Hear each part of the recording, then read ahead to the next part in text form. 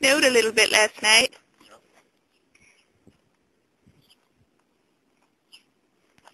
It's the yard.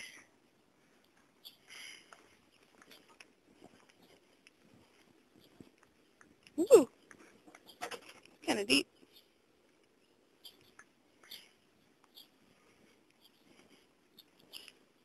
Expansive white. Wherever you can. Look. Remains of my garden. To flowers growing on there.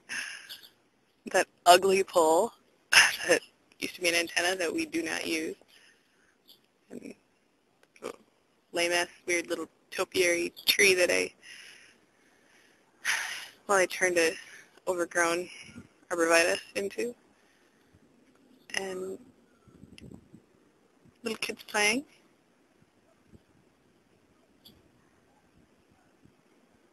Which always makes me happy.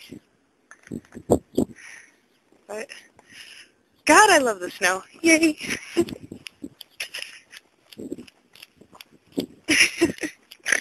I want to do a snow angel, but I'm not wearing a jacket, so probably shouldn't.